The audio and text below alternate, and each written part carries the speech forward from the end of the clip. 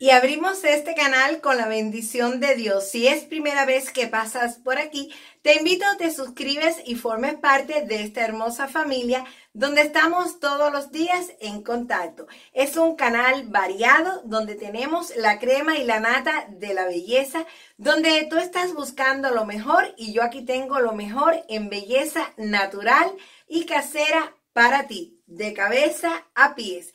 Quiero decirles que me gusta en mi canal tener diferentes temas, porque así simplemente es mi vida. Me gusta todos los días hacer algo diferente. Y ya ustedes saben que este canal es de mi vida llevada en videos de mi esencia, de mis experiencias, de lo que yo pienso y es un canal familiar.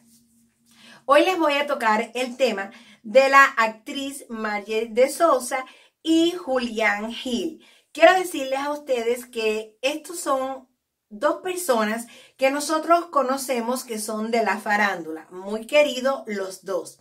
Quiero decirles que en mi canal yo siempre trato de ser neutral. Yo soy mujer, pero no por ser mujer, siempre voy a darle la razón a una mujer cuando no la tiene.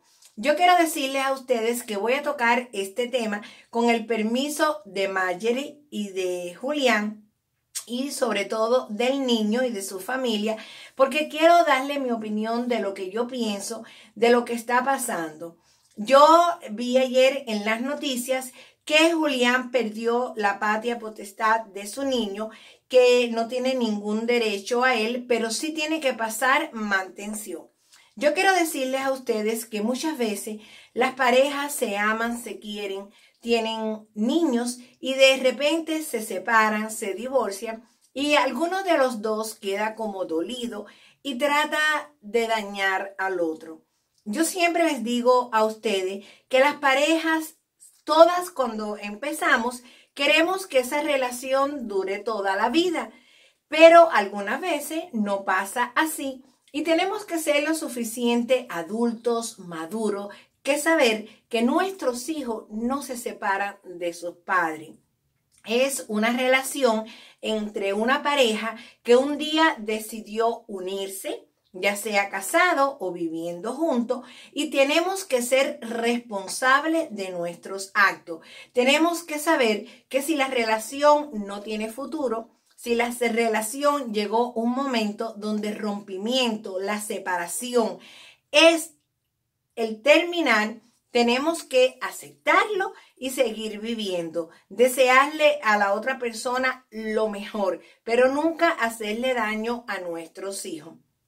Yo quiero decirles a ustedes que cuando los años pasan, las personas vamos teniendo más madurez, más experiencia y ojalá que Marjorie no le pese eso algún día porque la sangre pesa más que el agua y cuando ese niño sea grande, él solito va a buscar a su padre porque es la vida, es la sangre, es la familia, es ese amor, esa conexión que hay entre los hijos y los padres.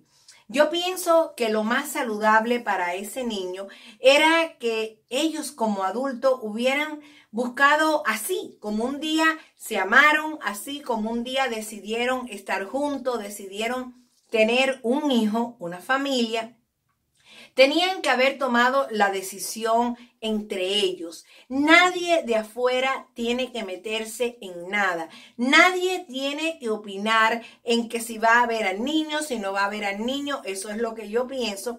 Aunque muchas veces hay que ir a las autoridades, hay que hacer las cosas como son, pero lo que yo pienso es que ese niño tiene derecho a ver su padre. Ese niño no se le debe de quitar el derecho de compartir con su papá. ¿Por qué? Yo no veo la razón que una mamá le quite el derecho de ver a su padre, de compartir un día en el parque, porque es una vida que va a transcurrir muchos años donde ese niño no va a compartir con su papá. Y ojalá que Marjorie un día cambie, ojalá que un día ella como mujer diga voy a cambiar, voy a dejar que mi hijo comparta con sus hermanos, con su nueva pareja, así como un día ella va a tener una pareja. Porque nosotras, las madres, los padres, tenemos que pensar primero en nuestros hijos y después en nuestra vida y pensar que el rencor no lleva a nada. El doler a otra persona con nuestros hijos tampoco lleva nada malo. Este video es muy cortico, es solamente para si eres una mamá que estás divorciada y tienes hijos, sea una mujer inteligente. Deja que tus hijos vean a los padres, que disfruten con ellos. Y si tiene una nueva pareja, no importa, tienes que llevarte con esa persona porque esa persona ahora va a compartir con tus hijos. Y en caso que algo te pase, para ti te va a dar tranquilidad que tus hijos van a estar con una persona que es su padre y una persona que ama a su padre y que tienen un hogar. Peor fuera si no tuvieras a nadie y estuvieras pensando que si algo te pasa y tus hijos se quedan solitos. La vida es muy bonita, pero tenemos algunas veces que bajar mucho la rayita, como yo digo, y no llevar las cosas hasta el tope, porque tenemos que pensar que nuestros hijos se merecen todo el derecho del mundo de compartir con sus padres y alegrarse cuando los padres buscan a los hijos. Ahora, si fuera el caso de que el papá no le interesa buscar a sus hijos, ya eso es aparte. Pero cuando el papá lucha, quiere compartir con sus hijos, denle una oportunidad y no le cierren los caminos a sus hijos. Sean mujeres inteligentes y no se llenen de odio, de rencor, de te voy a hacer esto para hacerte sufrir, porque lo más sano, lo más saludable en una pareja, cuando ya no tiene futuro, cuando ya el amor se terminó, cuando ya esa relación no va a ninguna parte, es ser lo suficiente madura y maduro y que cada parte se vaya a buscar una nueva pareja, a ser feliz y los hijos no tienen que pagar la culpa de nadie. Los hijos no se tienen que divorciar de sus padres.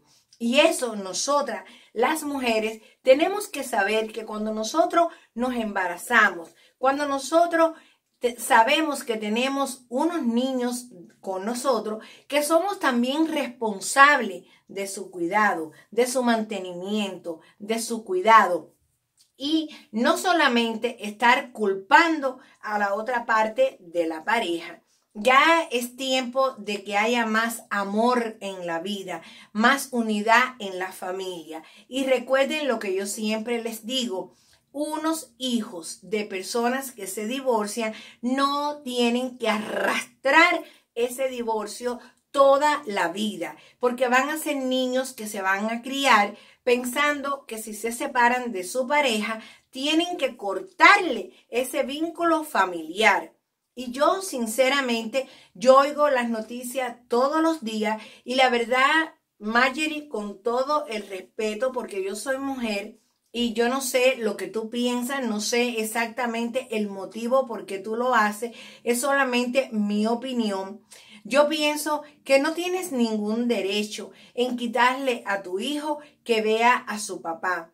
Ojalá que ustedes algún día se sentaran los dos, que conversaran, que vieran que cada uno puede ser feliz con otra persona y ese niñito también puede ser muy feliz con su papá, con su mamá, con sus abuelitas, sus tías, sus otros hermanos y, ¿por qué no?